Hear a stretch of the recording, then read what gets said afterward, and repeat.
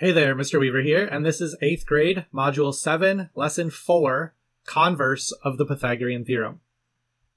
After this lesson, you need to be able to determine if a triangle is a right triangle by using the converse of the Pythagorean Theorem. Let's learn. Converse of the Pythagorean Theorem.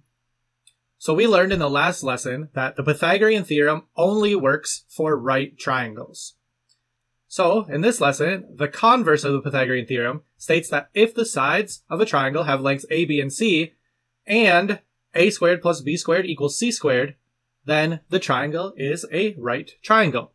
Essentially, what the converse of the Pythagorean theorem is saying is, if the Pythagorean theorem works for the three sides that were given, then the triangle is a right triangle, since the Pythagorean theorem only works for right triangles.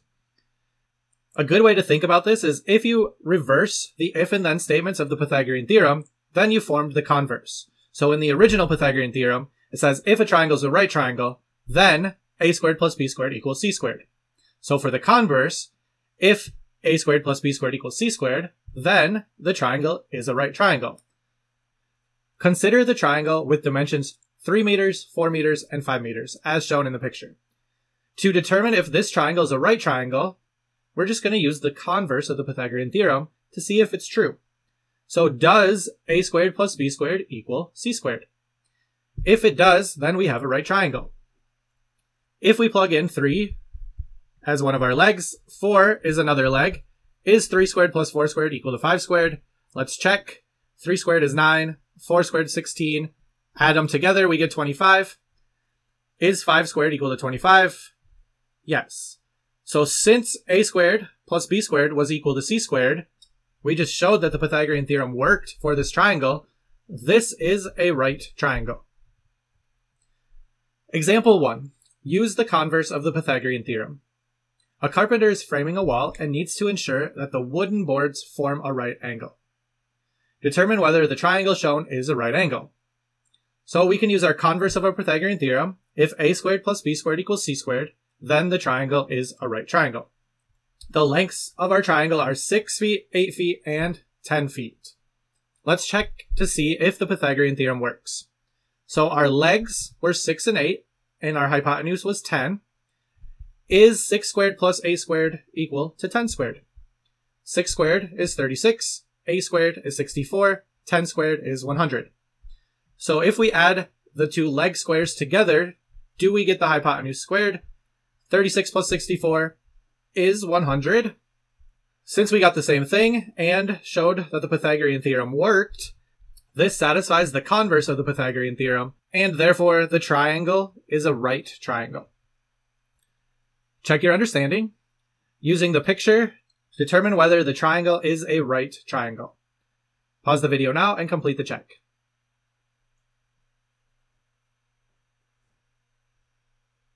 Check your answer. This is not a right triangle. So to do that, we're going to check to see if the Pythagorean theorem works. Is a squared plus b squared equal to c squared? 12 squared is 144.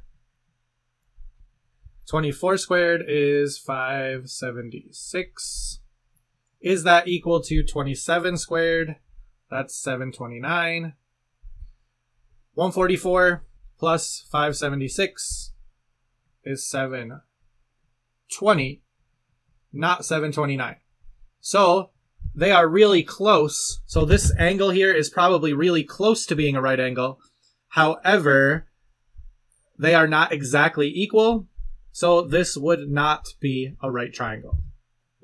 If it's not a right triangle, such as this situation, you could decide if it's an acute triangle or if it's an obtuse triangle. The key there is looking at the hypotenuse. If the hypotenuse is smaller than the two sides squares, then it would be acute. Acute is a smaller angle.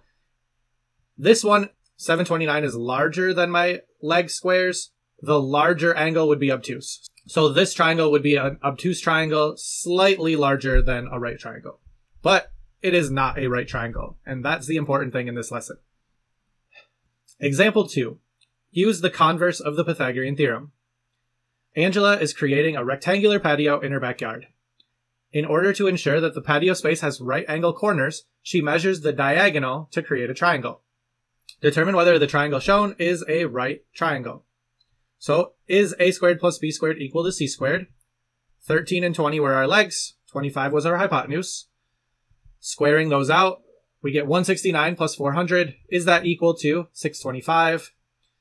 We end up with 569. That is not equal to 625. And since the Pythagorean theorem was not true, the triangle she made is not a right triangle. Check your understanding. Read through the situation and use the picture to determine if this is showing a right triangle. Pause the video now and complete the check.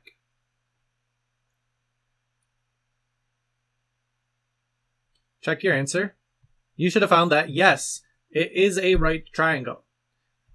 Now, here's where the converse of the Pythagorean theorem is helpful. This doesn't necessarily look like it's a right angle here, but it's just the perspective of the picture. If we check, does 60 squared plus 63 squared equal 87 squared? Let's use a calculator to get these values. So 60 times 60 is 3,600. 63 times 63 is 3,969. Add that together, we get 7,569. That's a 6. Is that equal to 87 squared? 87 times 87 is 7,569. So I got the same thing. a squared plus b squared was equal to c squared. Since the Pythagorean theorem worked, this is a right triangle, even though it might not look like it in the picture.